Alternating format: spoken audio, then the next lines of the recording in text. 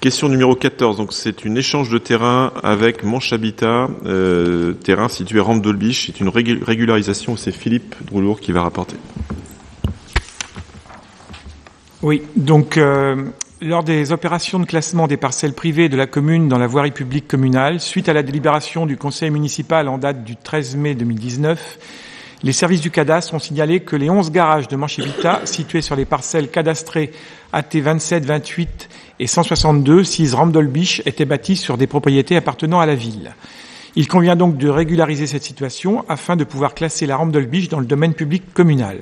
En contrepartie d'une session gratuite d'une surface d'environ 200 mètres carrés, Manche s'engage à prendre en charge les frais d'arpentage et d'actes.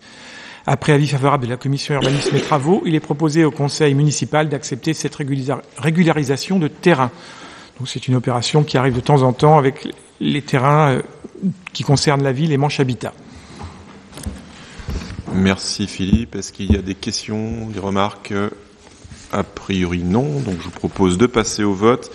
Y a-t-il des votes contre? Il n'y en a pas des abstentions? Il n'y en a pas non plus. Donc unanimité.